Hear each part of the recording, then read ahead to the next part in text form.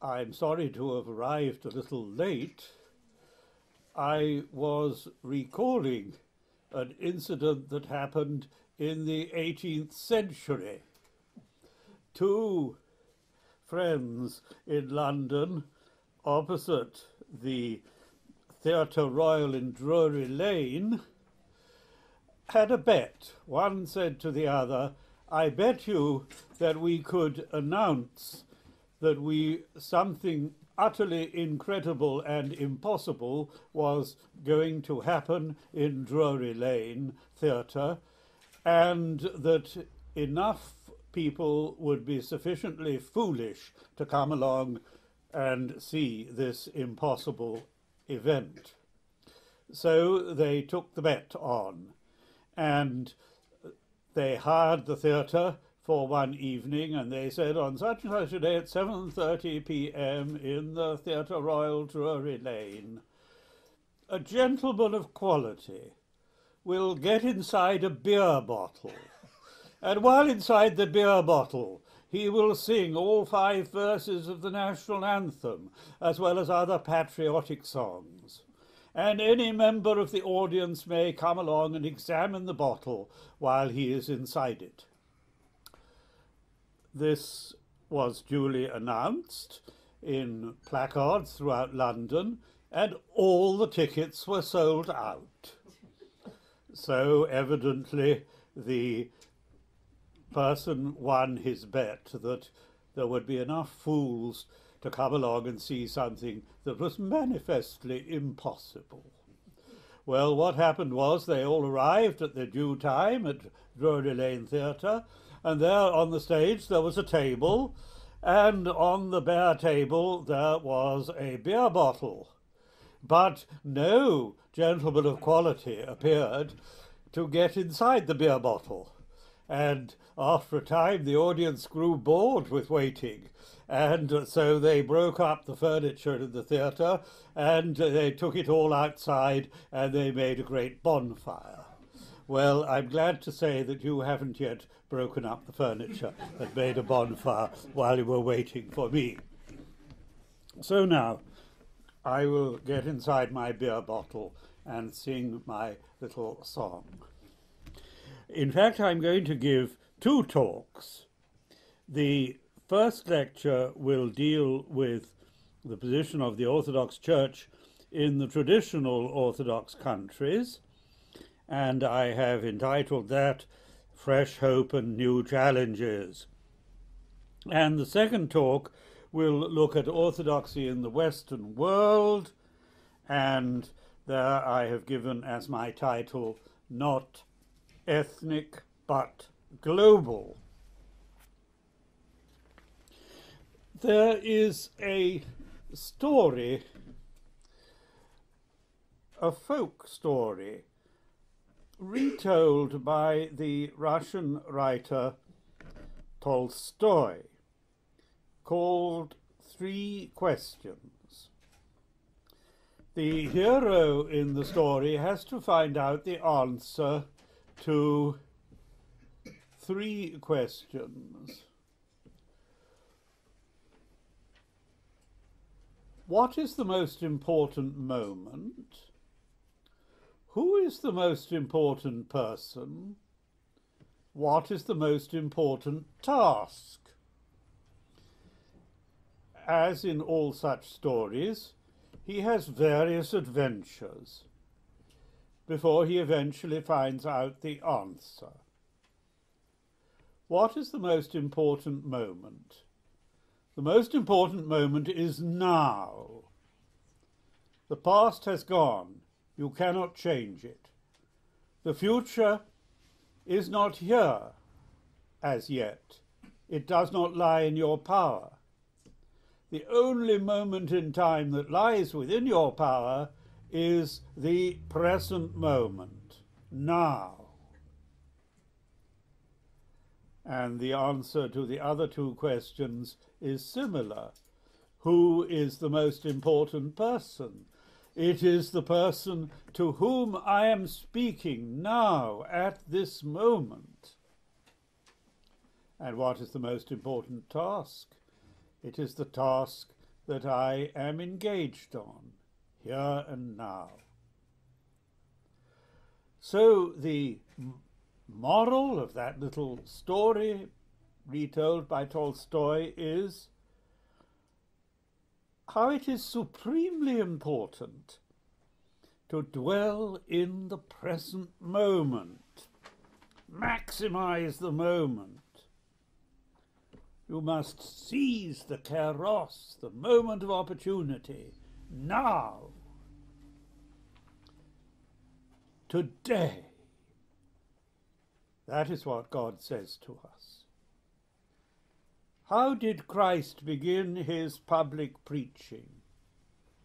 In St. Luke's Gospel, we are told that he went to the synagogue in the place where he'd grown up, and all the people present there would have known him from his childhood. And he asks for the scroll and he reads the words of the prophet Isaiah.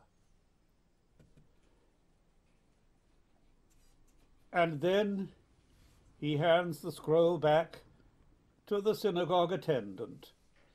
And everybody is waiting. What will this new prophet, whom we've known since childhood, have to say? And how does Christ begin his public preaching?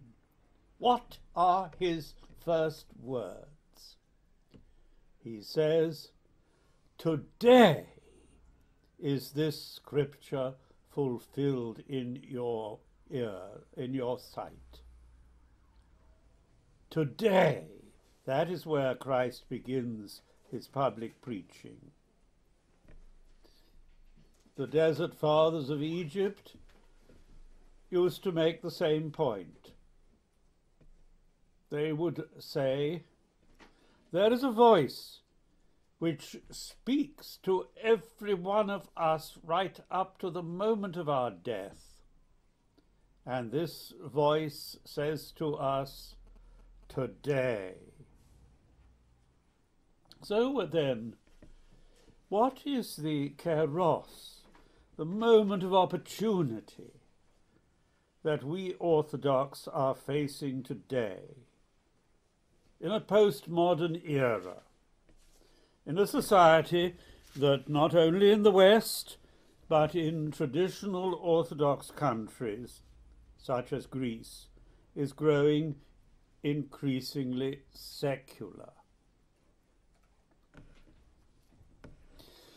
Let us start our reflections today by thinking about the nature of the church, about the church as paradox.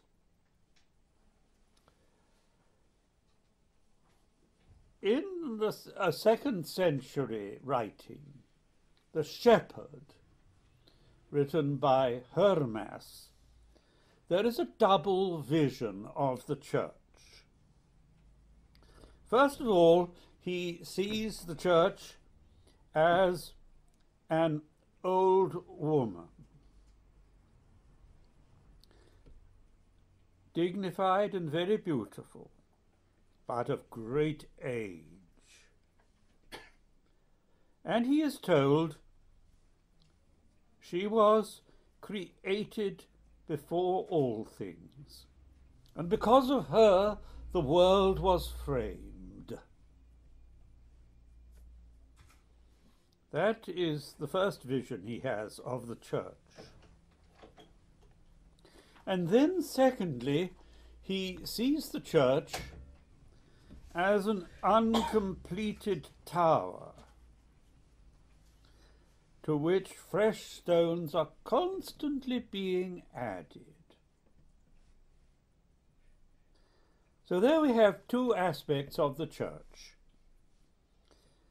The first vision of the church as an old woman expresses and reflects the eternity of the divine realm. We think of the church as the bride of Christ, perfect, sinless, unchanging.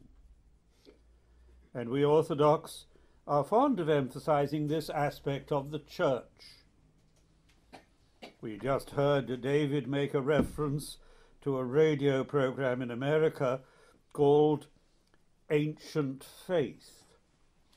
Not a title that I particularly like, but still, um, I suppose I'm an ancient person, if you wish to think in those terms. And yes, we are proud as Orthodox that our faith is ancient. We think of ourselves as the Church of Holy Tradition, as heirs to a rich inheritance.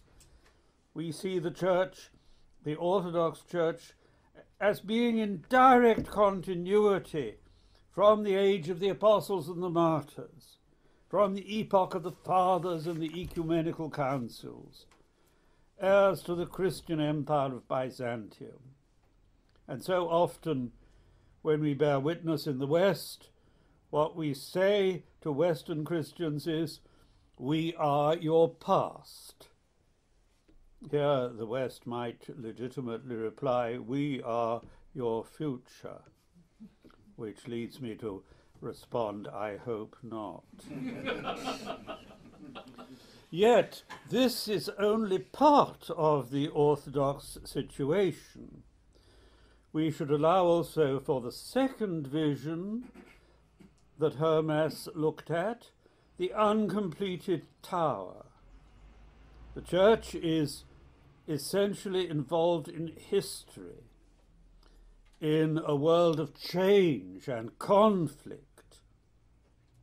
Throughout the 2,000 years of Orthodox Church history, conservatism is constantly modified by change, and change is constantly impinging upon conservatism. And that is precisely the peculiar fascination of these 2,000 years. So then, bearing in mind Hermas' double vision of the church, we could sum up this paradox of the church on earth in two phrases. The first is a phrase that I take from the Russian Orthodox theologian Father George Florovsky. Adapting Plato, he says that the church is the living image of eternity in time. And in that definition of the church, the living image of eternity in time, we should give equal emphasis to, on the one side, the word eternity, and on the other side, to the word time. There's also a second phrase that Father George Florovsky uses, as also do other Orthodox writers such as Father John Meyendorff, and that is living tradition.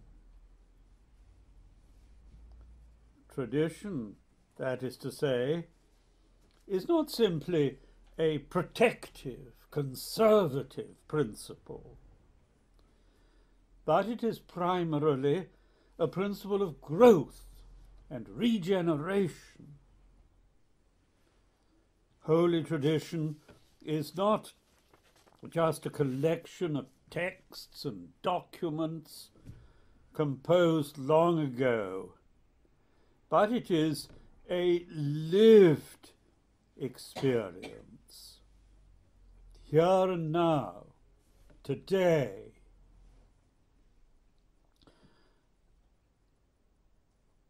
the church as the community of holy tradition has its face turned both to the past and to the future. It's interesting that the Russian theologian Vladimir Lossky defines tradition as the life of the Holy Spirit in the church. Tradition is not merely something given from the past, static, complete. It is an ongoing life. And exactly the Holy Spirit is associated with dynamic images such as wind and fire. Father George Florovsky says of tradition that it is the critical spirit of the church. Critical. We do not simply accept the past, we relive the past. So then,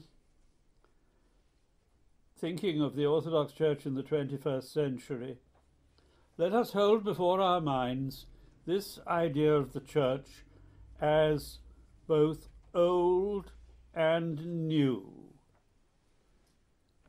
I think of a famous phrase in the Confessions of St. Augustine where he says to God, Sero te amavi, pulchritudo tam antiqua et tam nova. Too late have I loved you, beauty, so ancient and yet so young. So ancient and yet so young. Antiqua et nova. That is the kind of self image that I would wish us Orthodox to have as we embark on the second decade of the 21st century. Now, to appreciate the present kairos, to attempt an educated guess about the future, we need to look also at the past. The history of Orthodoxy in the century that has recently been completed, the 20th century, was largely determined by two decisive events occurring within five years of each other. The first of these events was the Russian Revolution of 1918, the October Revolution. This was the cause of a fundamental and for many a catastrophic change in the situation of the Church within the Russian Empire. Before the Russian Revolution, the Orthodox Church had a secure place under a Christian empire, emperor.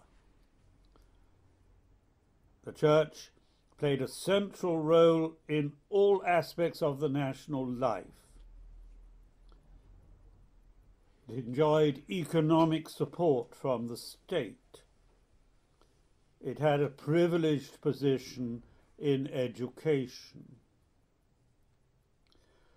With the Bolshevik Revolution, all this was brutally abolished.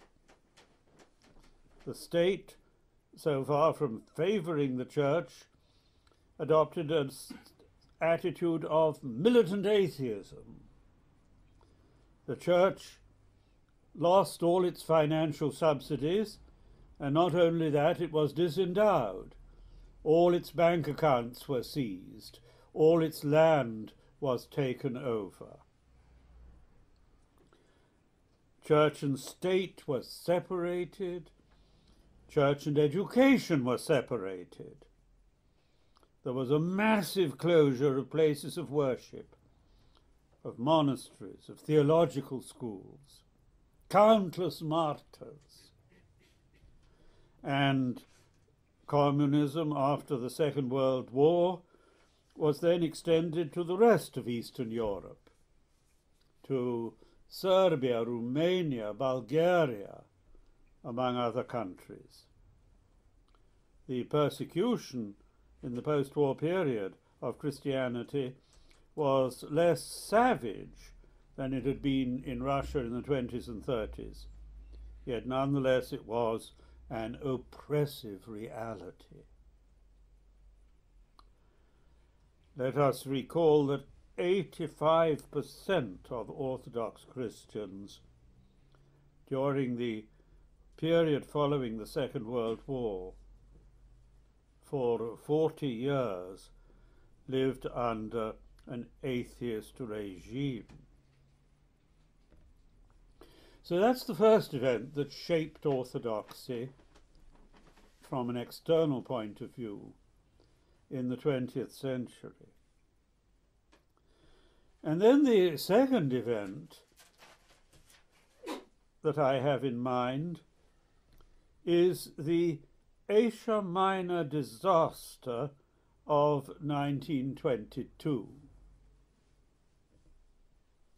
You will remember that Greece, following the First World War, following the disintegration of the Ottoman Empire, thought that the moment of opportunity had come for them to recover the areas in Asia Minor that had once been largely Greek. So they embarked on an invasion of Turkey. An ill advised invasion which ended in disaster. And as a result of that, 1923, by the Treaty of Lausanne, there was an exchange of populations what we today would call ethnic cleansing. The Greeks of Asia Minor, who in most cases were had been there for very many centuries, they were not recent emigrants, and most of them spoke Turkish, and many of them indeed didn't speak Greek. But if you were an Orthodox Christian who were deemed to be Greek, and so you were expelled from Asia Minor, from the places where you and your family had lived for centuries. They, you lost everything. You had to march on foot to the nearest point on the coast where you were herded into boats and taken over to Greece. That affected about a million and a half of people. Hundreds of thousands seem to have died on the way. There was no mercy shown to old people or to young children. In this way, the ecumenical patriarchate lost most of its flock in Turkey the Christians in Constantinople itself were exempt. So, ancient Christian centers dating back to New Testament times, Ephesus, Smyrna, Thyatira, among others, were rendered desolate. Greece at that time had, I suppose, about six million people, and they had to absorb at one moment a million and a half refugees, equivalent to a quarter of the population. How would we do in Great Britain today if overnight we had to receive 15 million homeless and destitute people? Because we have a population of about 60 million. That gives you some idea of the enormity of the task facing the Greek people at that moment. on the whole, the Greek government coped very well. The number of Turks, that is to say, Muslims, living in Greece who were transferred to Turkey was much smaller, probably not more than half a million. And of course, the population of Turkey was much larger. So, for the Turkish people, the event was also traumatic, but less formidable than it was for the Greeks. So, these two events, the Russian Revolution and the Asia Minor disaster, alter the outward face of orthodoxy in far reaching ways. From one point of view, both of them were, for the Orthodox, disasters. But a disaster can also be an opportunity. And one of the effects of those two events has been the emigration of huge numbers of Orthodox to the West, to areas that are not traditional Orthodox countries. An extensive uprooting. And that's what I should be speaking about this afternoon. So, bearing in mind those two events, what is our situation as Orthodox in traditional Orthodox countries at this moment? And what kind of a future do we face? Now, I'll not be speaking of the non Chalcedonians, of the Copts, the Ethiopians, the Syrian and Indian Orthodox and the Armenians. I'll only be speaking of the, let us call them, Byzantine Orthodox.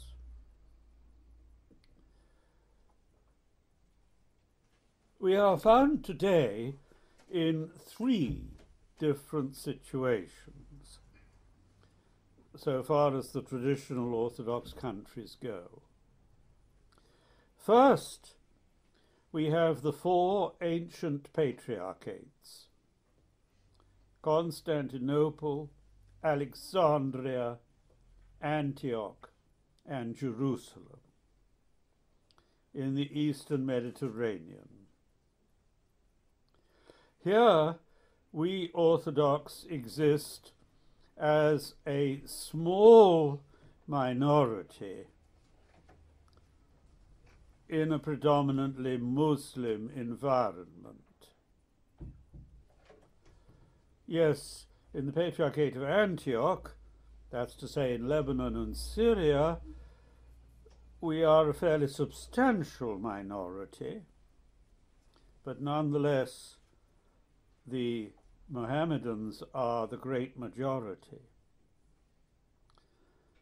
And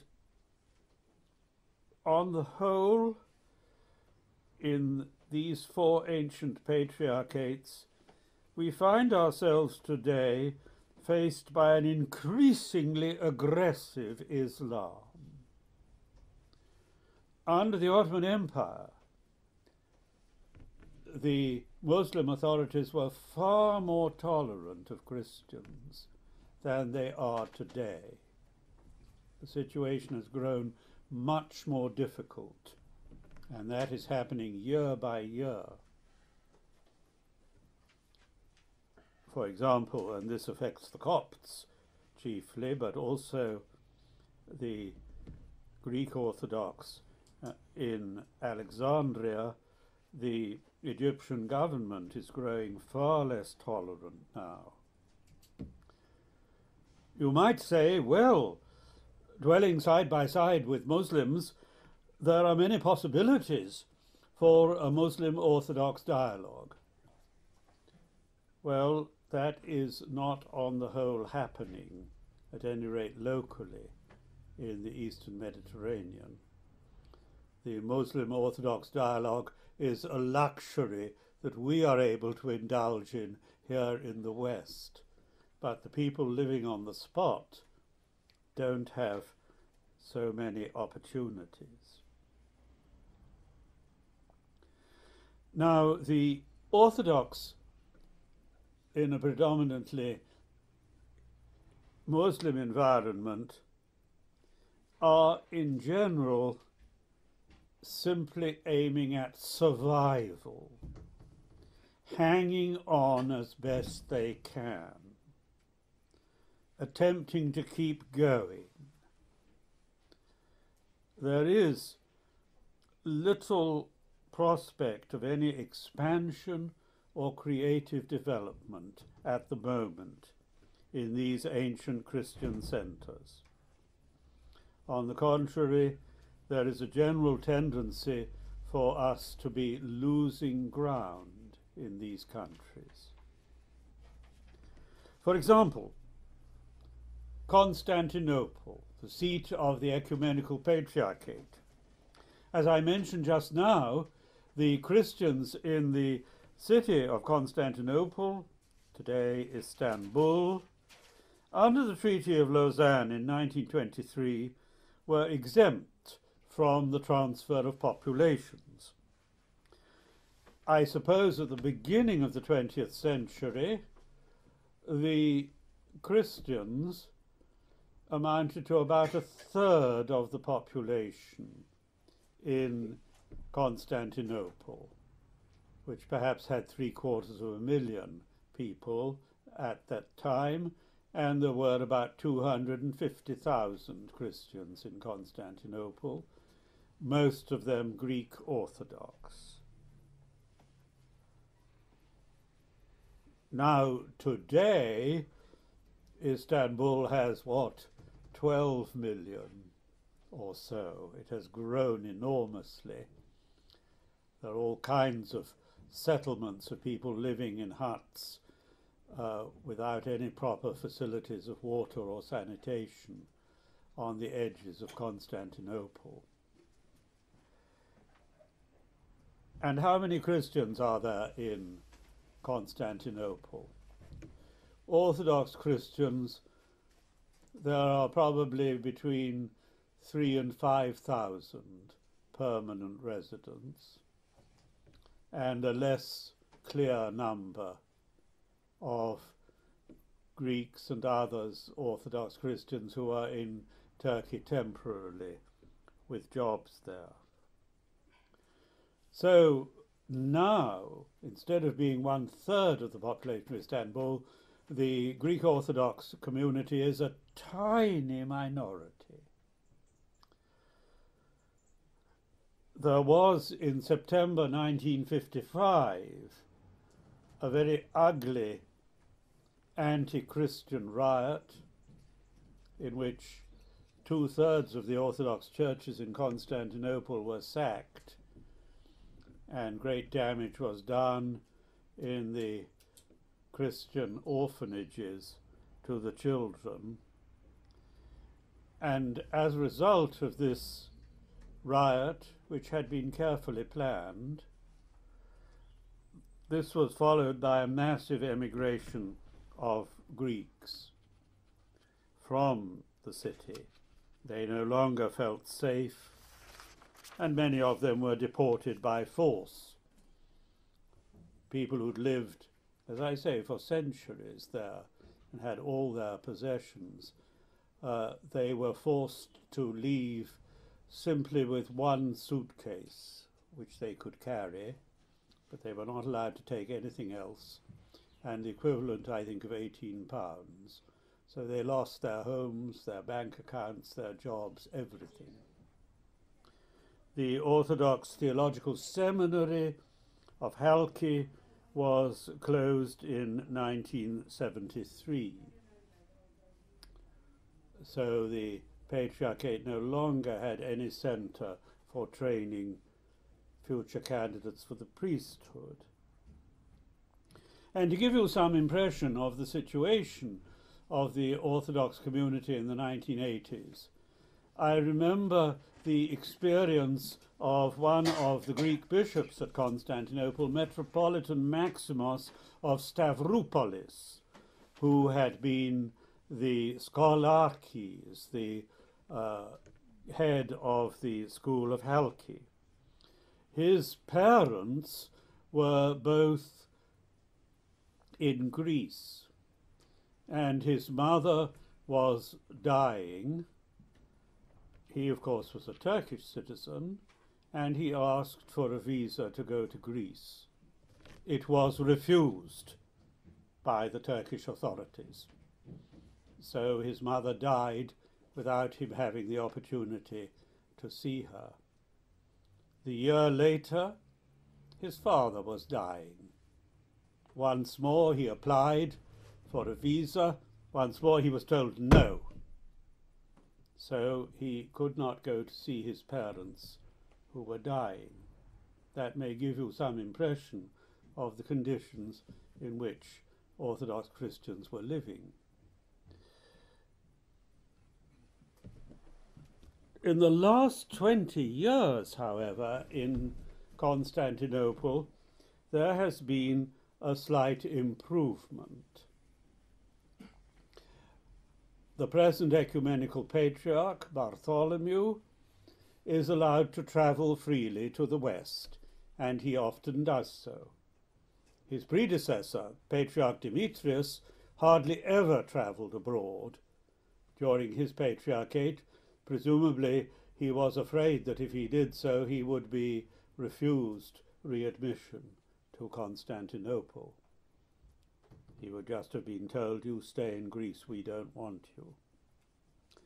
The bishops can also travel freely, unlike Metropolitan Maximus, wanting to visit his parents. the Patriarchate in Constantinople is able to organize congresses and other meetings. So there is a great deal more freedom.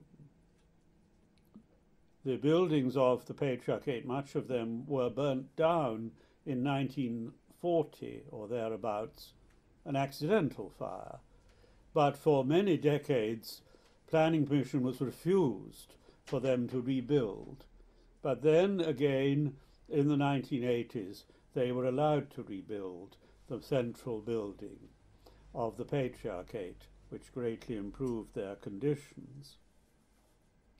But the School of Halki still remains closed. The, some Turkish officials make encouraging statements that it may be reopened, but nothing has happened so far. And so the Patriarchate has no centre to train its clergy, and it suffers from a great shortage of personnel. It's difficult to maintain a full staff of clergy and the Holy, Holy Synod of 12 bishops if you've only got a home base of about 3,000 Christians. In fact, Orthodox come from abroad and help in the Patriarchate, but they are not granted work permits by the Turkish authorities. They have to come with a tourist visa, which only lasts three months. Then they can leave, go for a few days to Greece, and come back again and continue. And the Turks let them do this, though they must realize they're not tourists but the refusal of work permits is a fairly settled policy of the Turkish authorities. The ecumenical patriarch Bartholomew said to me one day when I was visiting there, Yes, our position is easier, but all the concessions that have been made to us could be withdrawn overnight by the Turkish government we have no guarantees of security. We could be told tomorrow, pack your bags and go, and there's nothing we could do about it.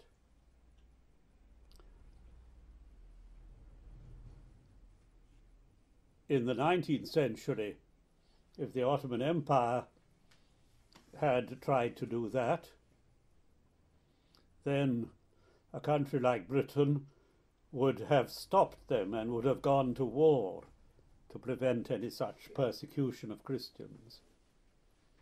But we know that in the 21st century, while there will be protests from the Western governments, they will not in the end be willing to do anything. That is the reality. So the future in Constantinople is uncertain. In Alexandria and Egypt generally, there are very few Greek Orthodox Christians. Most Christians are Copts. There's been a lot of pressure there, and I don't see any improvement. And there's been large scale emigration. So far as the Patriarchate of Alexandria goes, there, it has, however, jurisdiction over the whole of Africa, not just Egypt. And elsewhere, there has been major expansion, and there's been the development of an African Orthodox movement in Kenya and Uganda and Tanzania, which is growing and is quite dynamic. So it's not all gloomy. Antioch has, of, course, suffered. The Patriarch of Antioch doesn't actually live at Antioch, which is inside Turkey. He lives in Damascus and has for many centuries. But here the Christians have suffered a good deal from the troubles in the Lebanon in the 1980s, and they are suffering now severely from the civil war in Syria. It is interesting to note that dictators like Assad in Syria or Saddam in Iraq have been, on the whole, quite friendly towards the Christians. They may be loathsome tyrants, but they have treated the Christian communities with considerable justice. This is often overlooked. Um, Iraq, of course, the Christians there belong mainly either to the so called Monophysite Church, that doesn't accept Chalcedon, or to the so called Nestorian Church, the Church of the East, the Assyrian Church. And they have suffered very severely since the invasion of Iraq. The ill advised actions, if I may be a little controversial, the ill advised actions of Bush, Bomber Bush, and Blair, Bomber Blair in Iraq have had the effect of destroying Christian communities that existed without interruption from the first century. Blair now, no doubt in full sincerity, assumes the role of a Christian philanthropist, but his rule was not helpful to the Christians of the Near East, and we should recognize that our intervention by Britain as well as America in Iraq has largely destroyed the Christians there. It's all very well to invade a country and execute a tyrant, but then if you leave the country in chaos, you are highly responsible. I remember when the invasion of Iraq first took place, I was visiting the United States. And I was questioned about my attitude to the invasion of Iraq, and I, uh, by an Orthodox audience, and I said I was very much against this. That you don't solve the internal problems of different countries by invading them. And my audience were astonished. They were all thinking, it's marvelous, wonderful crusade. Here we are liberating people from an evil tyrant, but look what's happened in Iraq in practice. And I think now many of my audience on that occasion will be less enthusiastic about what was done there. Uh, and I think we should bear that in mind over Syria. Supporting the so called freedom fighters, the insurgents, is not necessarily going to bring peace and justice to Syria.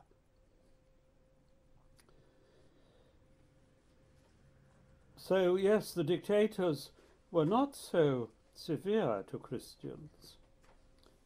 And if in these countries like Syria or Egypt, if they are replaced by militant Islamic regimes, the status of the Christians is going to grow much worse. So we should, I think, take that quite seriously. What about Jerusalem? That's unique in the uh, Orthodox world. It's governed by a monastic community. There's an interesting contrast between the Greek monastic brotherhood of the Holy Sepulchre and the Arab faithful. Not one, I think, of the bishops is an Arab Christian, but nearly all the faithful are. In 1900, about 95% of the Christians in Palestine would have been Orthodox. Today, only 40% of the Christians in Palestine are Orthodox. Great numbers of them have become Latin Catholics or Melkite Uniates or Protestants. We have lost over half our flock in Palestine, and much of that has been due to proselytism by Western Christians against the Orthodox. Fortunately, the Anglicans do not proselytize the Orthodox. they in Jerusalem, at any rate since uh, uh, the beginning of the 20th century, have played an honourable and supportive role towards the Orthodox. But that would not be true of other Protestant groups. So, I'm afraid looking at the four ancient patriarchates, we have to recognize they are all facing a difficult situation. They certainly need our prayers. Now, coming to the second situation in of the Orthodox, uh, in the traditional Orthodox lands, we have Greece. And this is the only part of the world where the Orthodox constitute a great majority of the population, never subject to communism. Perhaps we should put Cyprus in the same category. Now, in Greece, there is still a close association between uh, the church and the nation, between the church and the state. The state still pays the Orthodox clergy, though their salaries last year were halved because of the um, dire economic crisis in Greece. But it wasn't only the Orthodox clergy who suffered. My friends who teach in universities in Greece, they also have lost half their salary. Now just imagine those of you who are in employment, what would you do if overnight you were told your salary was going to be cut by 50%? How would you pay your mortgages, for example? So that's very difficult. Incidentally, though I said the state pays the Orthodox clergy, in fact, in Greece, uh, the state has confiscated nearly all the church lands in the 19th century. And so, what the state is doing when it pays the Orthodox clergy is compensation for all the land that they seized from the church. It's worth remembering that a body such as the Church of England in this land has never suffered disendowment. It's never had its land and investments taken from it. So it's just compensation rather than a kindly, uh, generous payment from the government. And yes, the seminaries, the different theological schools, uh, these two are still being uh, maintained by the state, they're part of the general educational system. But though the church state alliance is still close in Greece, it is now becoming weaker. The last census in Greece, in which people were asked about their church membership, was in 1951. And at that time, only 121 persons in the whole of Greece said they were atheists. The vast majority said they were orthodox. And those 121 people were quite courageous, because by saying that they were atheists, in the eyes of most of their fellow Greeks, they would have been renouncing their Greek identity by making such an admission, because it would have been assumed then, and it's still assumed by most Greeks today, that if you are Greek, then you are a member of the Orthodox Church. Your Orthodox identity is part of your national identity. I recall um, having lunch once with a Greek dentist in Jerusalem some years ago. And I was also with a uh, friend of mine, likewise English, who was a Roman Catholic. And the Greek dentist said to us, You have both betrayed your nation. Why, he said, you, pointing to my friend, you shouldn't be a Roman Catholic. If you're English, you should be Anglican. And you shouldn't be Orthodox, you should be Anglican. Why, he said, I personally am an atheist. But of course, because I'm Greek, I'm a member of the Orthodox Church. Incidentally, the meat was very tough, so perhaps that was a way of getting trade as a dentist. Um, there was a census in Russia not long ago. I can't remember the details, but significantly more people said they were members of the Orthodox Church than said they believed in God. So, this attitude that being Orthodox is not really a matter of personal faith, but a matter of national identity, this still continues. I remember my teacher, Anglican priest, Father Derwas Chitty, saying that when he entered Athens at the end of the war in October 1944, he said, For the first time in my life, I felt that I was in a Christian city. If you went to Athens today, I don't think you would have that impression. You would find it very like any other capital city in Europe. So the church state alliance is growing weaker. In the 1980s, civil marriage was introduced, and abortion under certain conditions was legalized. In the 2000s, there was a great dispute about identity cards, taftotites. The leader of the church at that time, Archbishop Christodoulos, took the view that the identity card should specify your religious membership. The government took the line that it should simply record external details sufficient to identify you, but not questions of personal belief.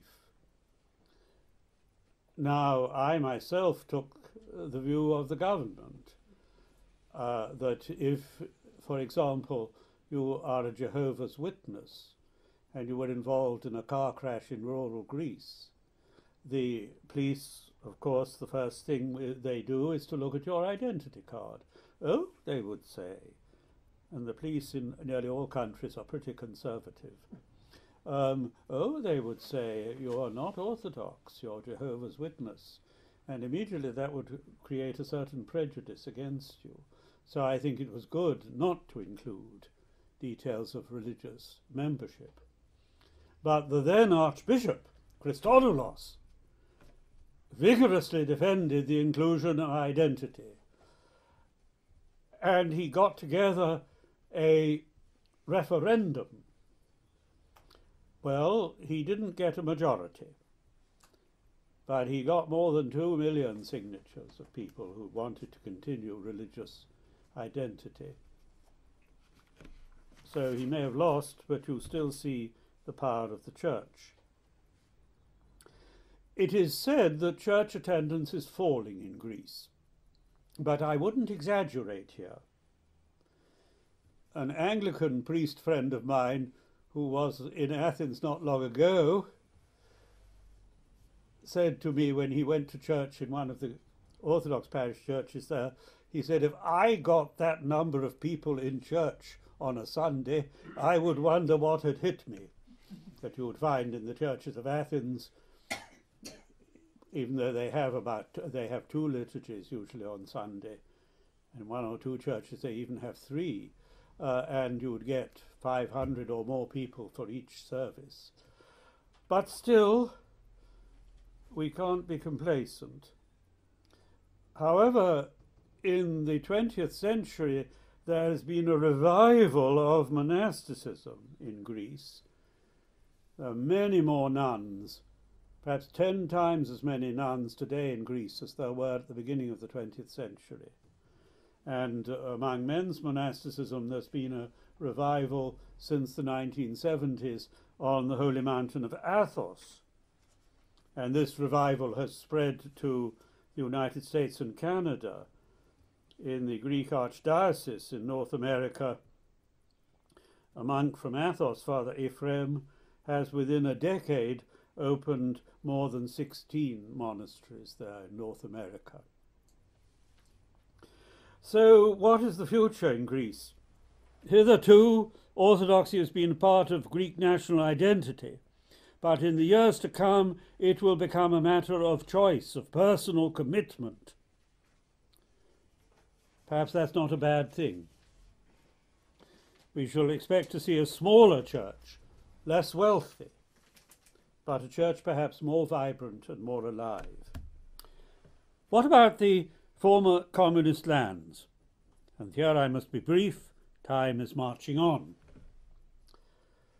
Since 1988 to 89, especially in the former Soviet Union, there's been an impressive renewal of ecclesial structures.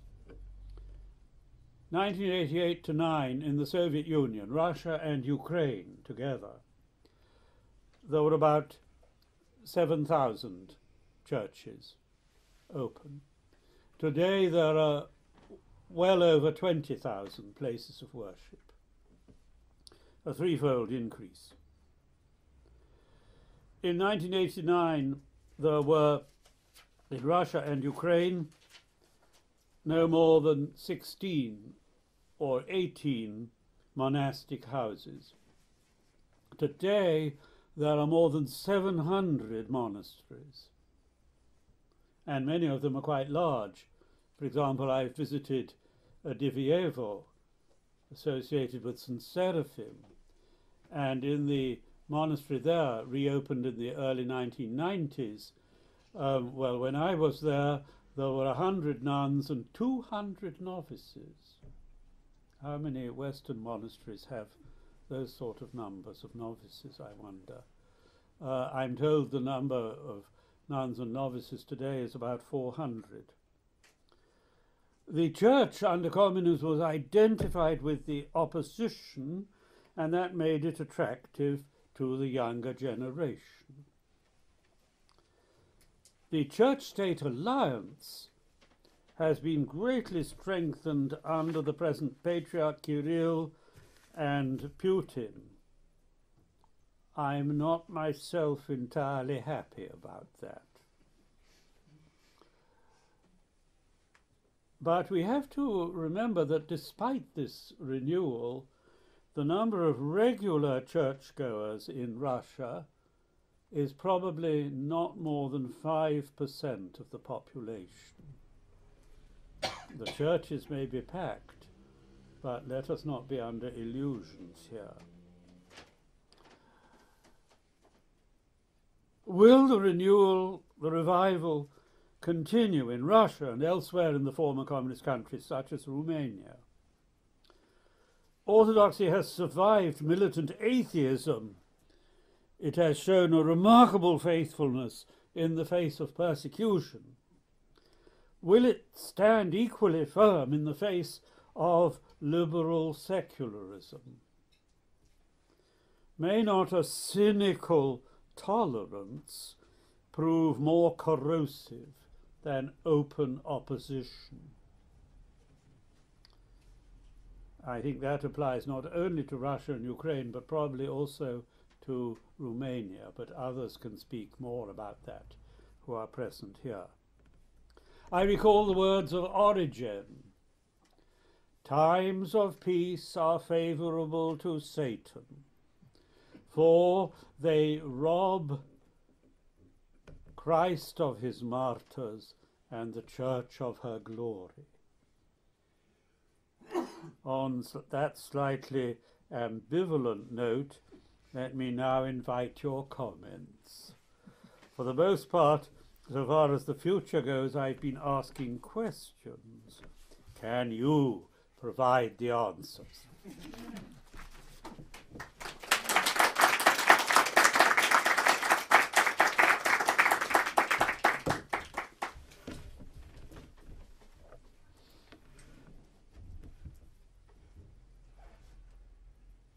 Well, rather than not give you time to think, maybe I can make one observation, which is um, a result of our involvement in the way, where you've been a leader, uh, which has been adopted in Romania for catechesis of adults, and I gather is going great guns there.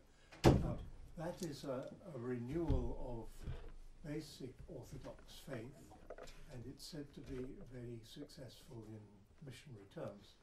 But uh, an interesting uh, sidelight uh, when we're talking about the influence of the Western churches on Orthodoxy has been that the driving force has been uh, a member of World Vision, Manis Durianin. And uh, he, I think, began as a Baptist and has edged towards Anglicanism and is uh, looking hard at Orthodoxy.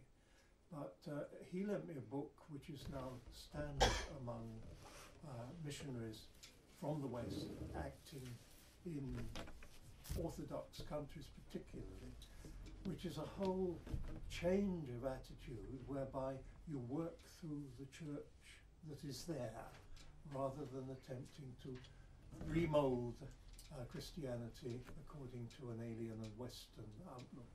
Uh, have you, are you aware of this anywhere else in, in the Orthodox world, this kind of uh, sensitivity?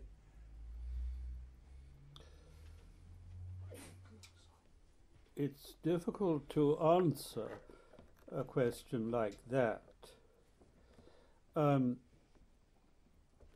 first of all, as regards the success of the way in Romania, that points to something of great importance in the former communist countries so far as the future goes that there is an enormous need for Christian education, adult education.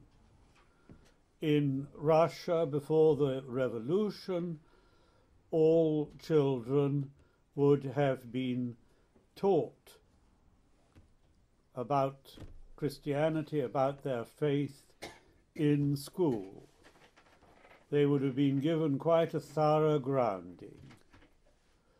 And certainly, uh, one of my parishioners who was in university in Russia before the revolution recalls that there were even compulsory lectures that you had to go to as a university student.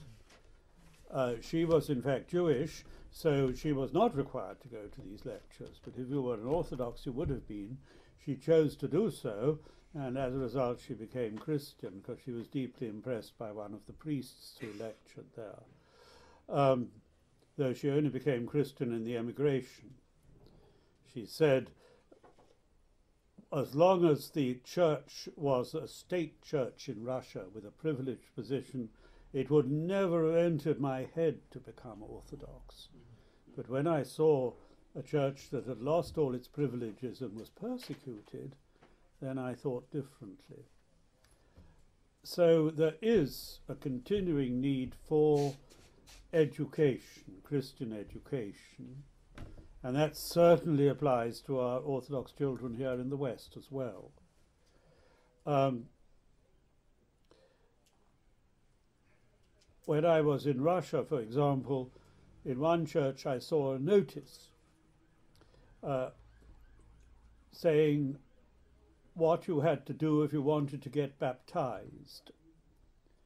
You were required to know by heart the Lord's Prayer and the Creed. Also, to have read the whole of the New Testament. What, as a secular person, you would make of the book of Revelation, I'm not quite sure, but still. Um, and you were required to have a half hour interview with the priest. That was all. So this means that many people who are getting baptized quite sincerely, in fact, know very little about the faith. In the fourth century, there was a program for instructing catechumens. Um, if you read the uh, catechesis of St. Cyril of Jerusalem, you will find that uh, the catechism for the people wanting to be baptized lasted about three years. And the end part, for the last 40 days before being baptized at Easter, you had to attend for three hours every day instruction. Well, compare that with a half hour interview with the priest.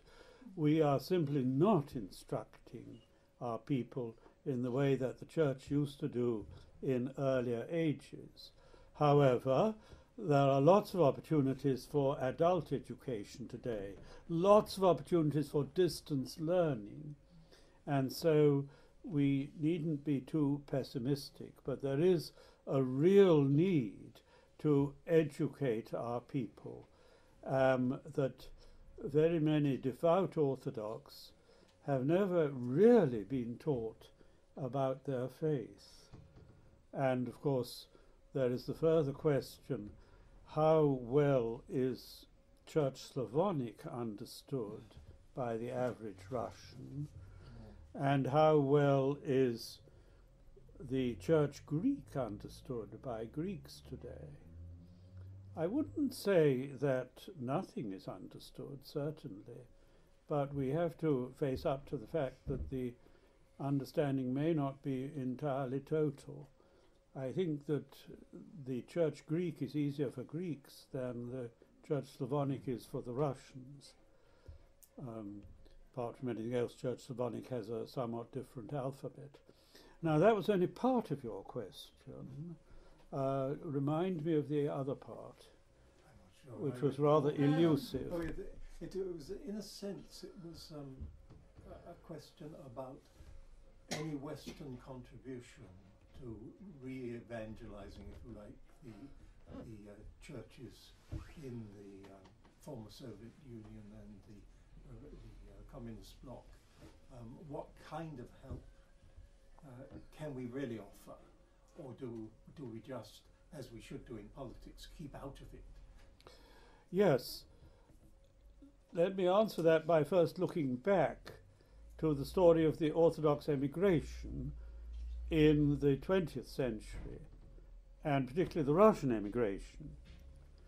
Now, the effect of being uprooted from their home country, losing everything, coming into exile, often brought people back to a living faith in the church. That many people who had not been practicing Orthodox in Russia recovered their faith in the emigration. And often it was contact with Western Christians that brought them to rethink their own Orthodox faith and to understand it much better in the light of the questions that Western Christians were posing. And I think that many of the leading Orthodox theologians who have worked in the West would say that while they remained firmly Orthodox and didn't wish to borrow wholesale from Western Christian non Orthodox sources, yet it was meeting non Orthodox that helped them to understand who they were. And it's interesting, the Russian theologian Vladimir Lossky, after the Second World War, he had been living since the 1920s in the West. After the Second World War, they reopened the theological schools, or a limited number of them, in Russia. And he was invited back to go and teach there. And he declined to do so. He said, I have been shaped by my experience of living in the West, and therefore what I have to say about orthodoxy needs to be said to a Western audience, and therefore I would not be a suitable person to go back to Russia and teach there. So there he certainly felt that the experience of being in the West, studying in a Western university, meeting Western Christians, uh, that this had brought him to a new understanding of orthodoxy. So I think this has been the experience of very many Orthodox during the past century. I'm not sure, just to pursue this line of thought, in Russia today, who are the leading theologians? In the Russian emigration, from the 1920s onwards, there were outstanding theologians of Russian birth in the West. Father Sergei Bulgakov, Vladimir Lossky, Father George Florovsky, Father John Meyendorff, Father Alexander Schmemann. Who are their successors? And who are the outstanding creative theologians in Russia today? Now, it may just be my ignorance, but I'm not aware of group similar to those in the period from the 20s to the 60s who were active in the West. So I just put a question mark there. Where are the future Orthodox theologians? And we're quite short of theologians in the um, in, in, in the ecumenical patriarchate. I was talking some weeks ago with Metropolitan John Zizioulas of Pergamum. Now, I should be 80 this year, and he is several years older than me. And we said to each other, Yes, we represent an ancient faith and we are ancient persons. we should long since have been put out to grass in retirement.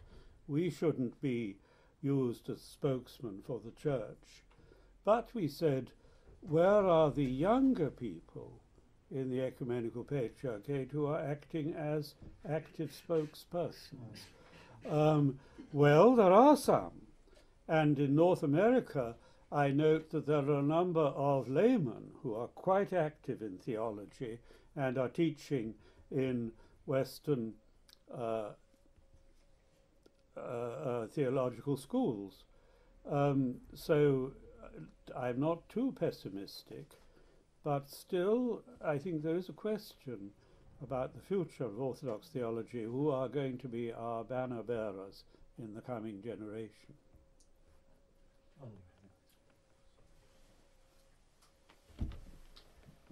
How do the churches in Greece and in the former Soviet sphere of influence, How do they? how do the churches in Greece and in the former Soviet sphere of influence respond to Western Protestant missionaries at present?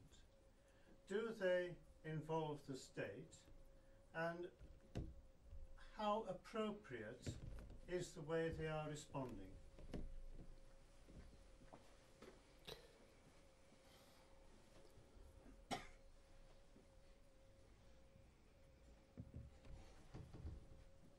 So far as Greece goes,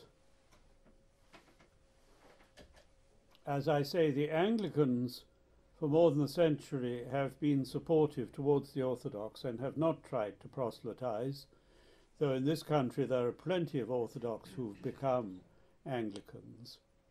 We hear a little about Western people who've become Orthodox in this country, but let us, as Orthodox, recognize that we are losing far more people than we are gaining. We have no reason to be triumphalist um, on that point. Um, in Greece, though, uh, the intervention of Western missionaries from Protestant sects in America, often with a lot of financial support, this is widely resented. And also the intervention, I don't suppose they should be classified as Christians, of the Jehovah's Witnesses, who indeed have sometimes provoked the Greek people by speaking against the Mother of God, which is not a popular move in a Greek Orthodox audience. Um, so uh, there's often been resentment, and there is freedom for the missionaries to work in Greece, but I think the law gives a certain protection to the Orthodox Church as the dominant religion. And therefore, open attacks on the Orthodox Church would, I think, open you to legal action in Greece and restrictions by the police. So you have to be careful there. But there is basically religious freedom. Any Greek who wants to become a member of the Jehovah's Witnesses is at liberty to do so, and the Jehovah's Witnesses, among other such groups, can distribute their literature and so on. Though if it attacks the Orthodox Church, it might be confiscated. Um, in Russia, there are certainly restrictions on proselytism the church does enjoy a protected status. Um, again, I think there is in principle freedom of religion. There have, after all, in Russia, there has been a largish um, Baptist evangelical church whose roots go back certainly to the 19th century. They too were persecuted under the communists and they have fairly friendly relations with the Orthodox. And I think they do not indulge in attacks on the Orthodox, and certainly they have full freedom of worship. They can have their theological schools in Russia and maintain their church life. Um, again, I think restrictions apply rather to the Protestant sects who have no real roots in Russia who are coming in from the outside, and their interventions are resented, and the state, I think, does protect them. But there is a question in Russia whether sufficient safeguards are in place to protect religious minorities. I think there are some questions there.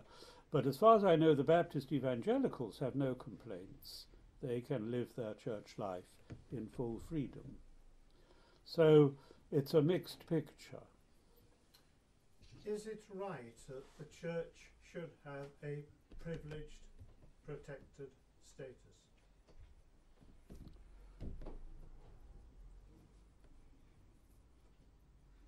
I would say in Greece and Russia there are strong historical reasons for this and perhaps also in Romania. Um, religious freedom, yes, but freedom for negative propaganda, that perhaps should be restricted. Yes. Uh, with, with such a disparate um, understanding of the present reality amongst our Orthodox churches, how can we best work together to keep up that living tradition, that living faith in the world today? We, we've got such different experiences of the present? I mean, how do we work together? The Russians have a different understanding of the war they're in than the Greeks or the Arabs, put it that way. How do we work together as a church?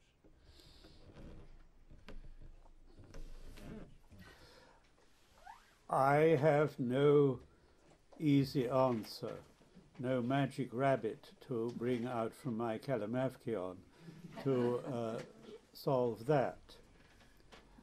But one thing that I attach great value to is exchange of students. Rather than curse the darkness, I'd like to light a candle in my answer. When people are students, first of all, they have a lot of time, which they may not have later in life with a family to bring up. And secondly, they are often uh, quite impressionable, open to new ideas.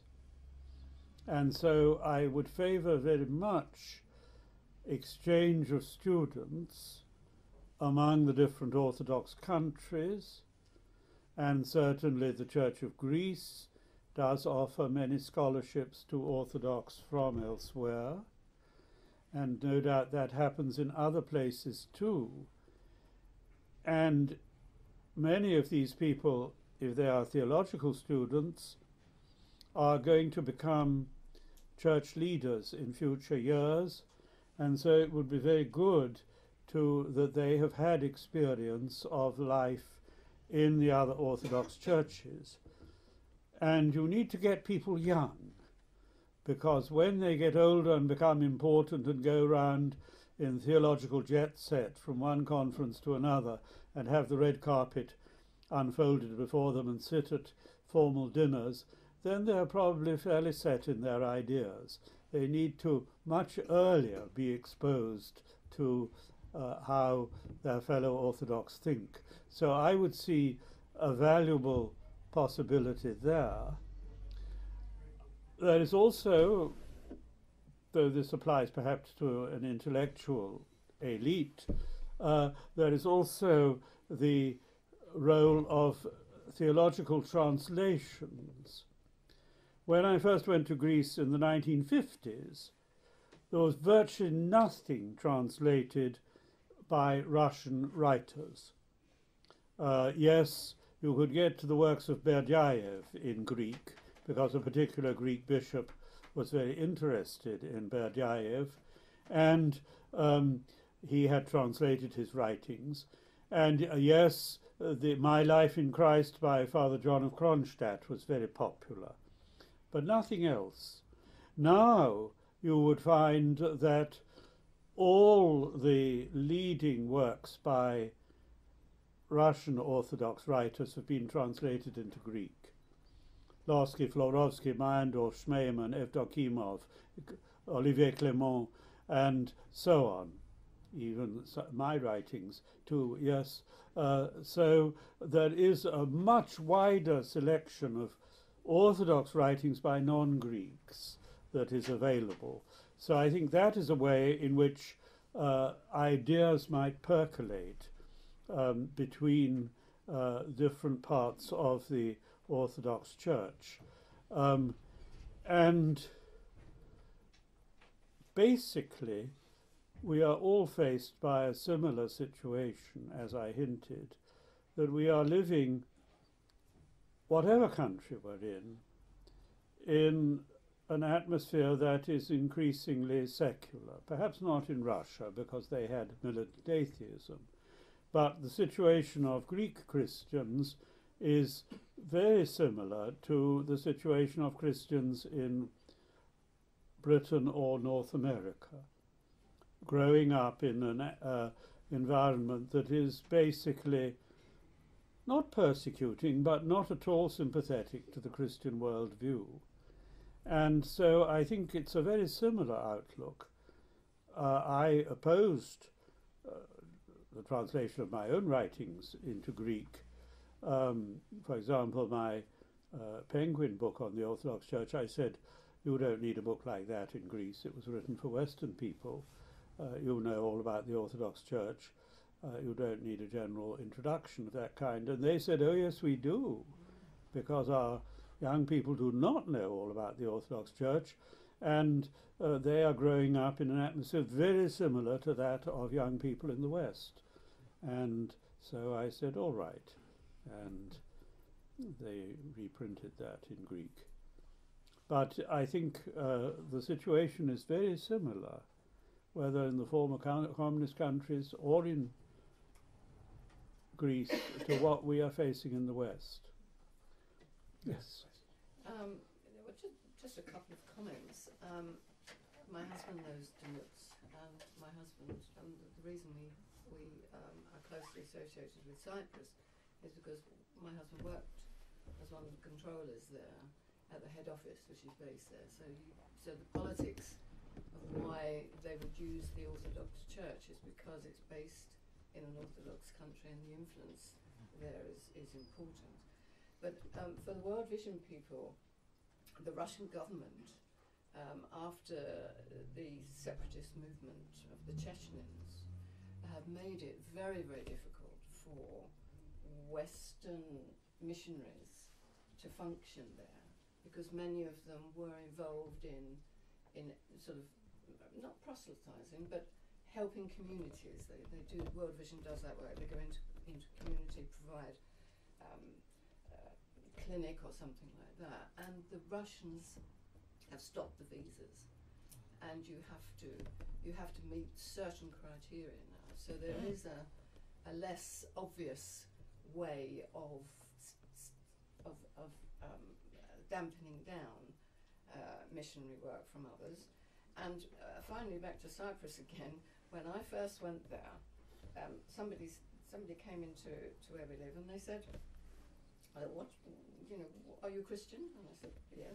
But what's your denomination? And I said, "Well, I, I don't I don't have one. Don't really want one." Before I became Orthodox. Ah, he said, "You're Orthodox," and walked off. And I thought, and I stood there, and I thought, what does he mean by that? But they, it's like in the Islamic countries that I've uh, also lived in for many years. If you're born, uh, when you are born, you are a Muslim. And in, in, in, certainly in Cyprus, possibly in Greece, when you are born, you are Orthodox. And that's it. There is no, you know, it's just an accepted way, whereas that's not the case in West, that wouldn't be the case. So yes, thank you. Yes, that's that's I accept that. First, I accept that we Orthodox need to search our consciences about the way we are behaving over religious freedom. But I think the situation in Russia is more serious than, say, in a country like Greece mm, or Cyprus, yes, for that matter, mm. where uh, there may be certain protection to the uh, state church as the church of the people, but um, there is also greater freedom. Um, yes, um, and I think your other comments are quite fair. Um, while we're speaking of Cyprus, which I didn't say much about, let me recall a um, interview that I had with Archbishop Makarios in the year 1971. And he at that time had the double role of being head of the Orthodox Church, but also uh, president of the country. This was a continuation of the kind of situation that existed in the Ottoman Empire, where the ecumenical patriarch was regarded as responsible not only in religious but in civil matters for the Christian Orthodox population. He was ethnarch. And um, I talked to Archbishop Makarios about this double role, and he said, I would like to retire as president. I think the time has come when the president should not be the archbishop, he should be a layman. But he said, at this present moment, I'm conscious that there's nobody to take my place. But I expect to be the last ethnarch of this kind, and I look forward to the days when I can simply be archbishop and not head of state. Well, he was never able to do that, but it was interesting that this was the way he saw his role.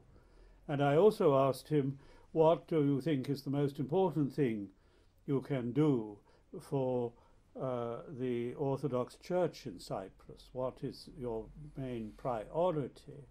And he said, it is to raise the standard of the married parish clergy so that they may be better educated and more respected in the community.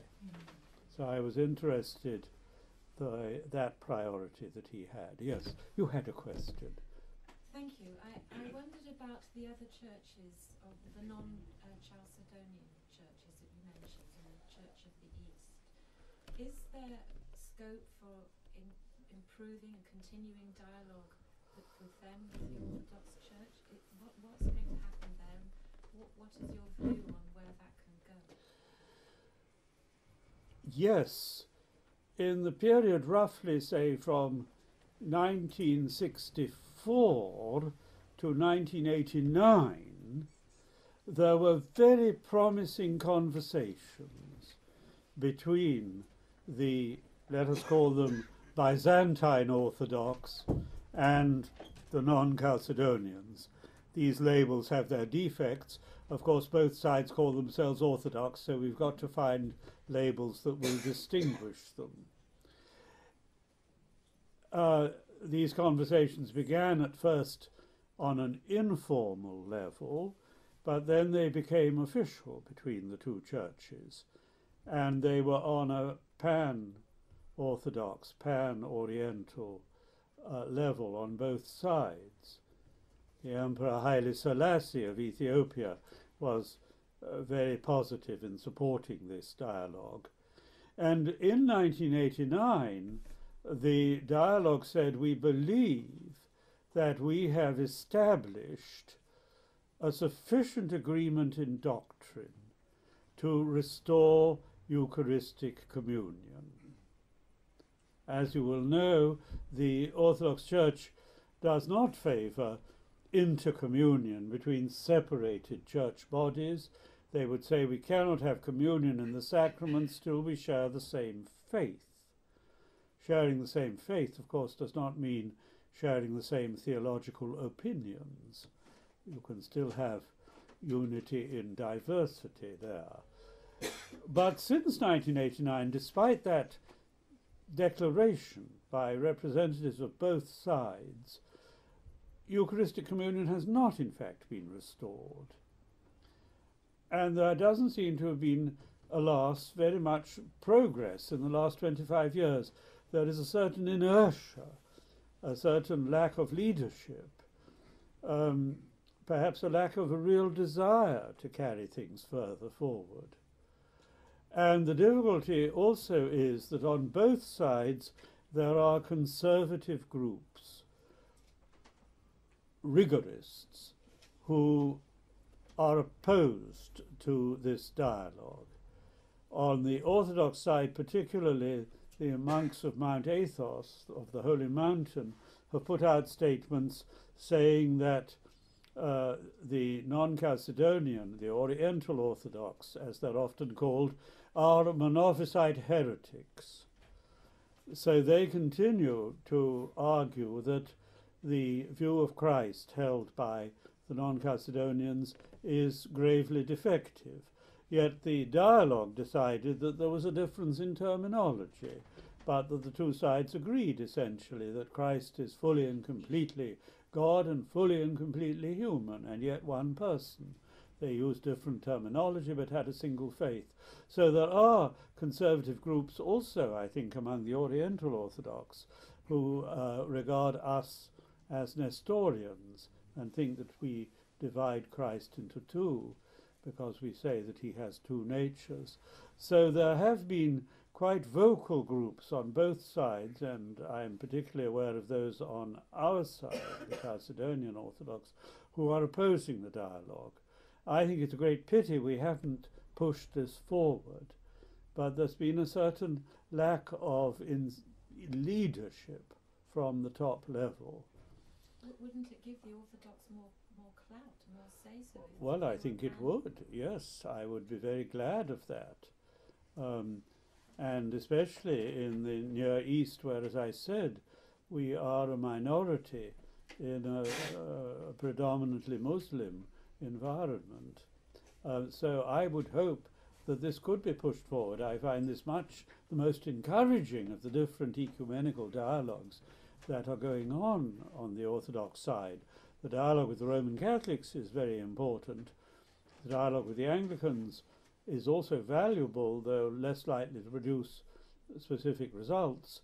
Um, but uh, it is with the, the Oriental Orthodox that we ought to be pursuing it. And I wish there was more initiative from above. Maybe the initiative may come from, from below, as it were. Well, one might hope so. Because um, spent um, a month doing research, staying in the Syrian Orthodox uh, Theological uh, Seminary, the Indian Orthodox, uh, very clearly a desire, the registrar who organizes these meetings and uh, spoke for the people there and the bishops saying that they would like to see the institute play a role in this, in bringing the two sides together, the Byzantines and the Chalcedon- non-Chalcedonians, for preliminary sort of uh, talks. And we are waiting for some developments and hope that this can be arranged. And uh, Yes, David, that's a task for you to occupy your spare time. We're Yes, yes, yes, yes, It's yes. simply a matter of funding and then organisation, but the, the will is there certainly. Yes, and this is part of the trouble with the official dialogues, which are important, but often they involve just a limited group of theologians and specialists, and very little is known about these dialogues among the Christian people as a whole. yes. And it's a need for them, the dialogues, to be received.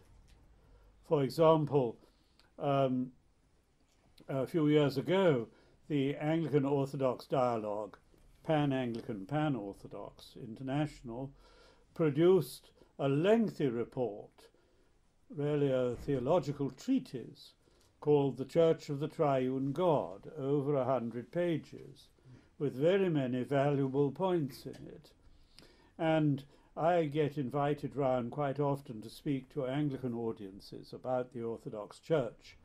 And often these audiences have quite a few clergy in them. And I like to ask them, how many of you have read this report? And out of an audience of a hundred some little time ago, I think two people raised their hands. And this is the trouble that uh, these groups often have very positive discussions, but it doesn't get known among the Christian people as a whole.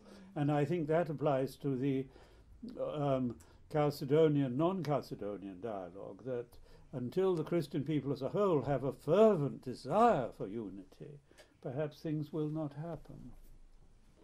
Perhaps the Christian people as a whole in this room wants to have lunch. I don't know. There's one question at the back, and I think maybe we must beg Father Yes. listen. For many centuries, the language of Orthodox theology and liturgy has been Greek. Do you think it can continue to be so?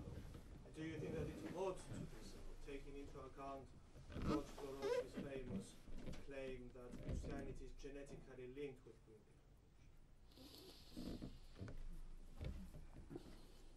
I love the Greek language. I started to learn ancient Greek when I was about 11, and I think it would be a wonderful thing if everybody learnt Greek. On the other hand, Christianity has never been limited to any one single language. It was originally Jewish, but at a very early date, Christianity moved out from a Jewish environment into the Greco Roman world. And most of the Greek fathers didn't, in fact, know Hebrew, though Origen did. And then again, we think of uh, the development of the missions from Byzantium at a time when the Western Church was insisting in its missionary work on the use of Latin. The missionaries who came from Constantinople, Cyril and Methodius in particular, and went out into the Slav lands, from the beginning translated into the vernacular. Well, Church Slavonic is not exactly a ordinary spoken language, but it was a language that was intelligible to the Slav peoples. And their preaching was therefore in the language of the people. The liturgy was translated, the Bible was translated, and Christianity was presented not in the Greek form, but in a form that the Slav people could understand. So I think in that way, while certainly the tradition of the Greek fathers is influential for uh, Orthodox thinking, we are not limited to any one language. And it has been our principle to celebrate services, to preach the faith, to teach the faith in the language of the people. And that, I think, is the true Orthodox approach. Um, there's been considerable uh, reservations, for example, in the Greek archdiocese in this country to using English. Uh, English is still not used, in my view, nearly as much as it should be in our Greek parishes. But in principle, the faith can be taught and thought in any language. So I'm fully in favor of drawing upon our English intellectual tradition in presenting orthodoxy. It would be an excellent thing if those of, who are seriously interested in the Orthodox faith have also some acquaintance with Western philosophy and can understand that uh, a little. Let them read Locke, Berkeley, and Hume, uh, for example. Um, uh, uh, these are excellent writers, easily understood. I began reading Berkeley when I was 13 and found it very enjoyable. Um, so uh, we need to present orthodoxy not just in the language but in the intellectual categories of the society to which we belong. Um, otherwise, we lose se- a, a sense of the um, universality of orthodoxy, of its Catholicity. Father George Florovsky used to say, uh, spiritually, we are all Greeks, or Hellenes, he would have said. Well, I would agree with that. I even quoted that in the address I gave at my ordination as a bishop. Um, but I would underline the word spiritually, not necessarily linguistically. Thank you. Well, you've had a prime example of the benefits of the English intellectual tradition to orthodoxy. Um, and uh, I, at the moment, I'll ask you to applaud, to say that we really must feed and water the bishop if he's able to carry on next time. We look forward to a new session and we thank you very much, and lunch will be that way.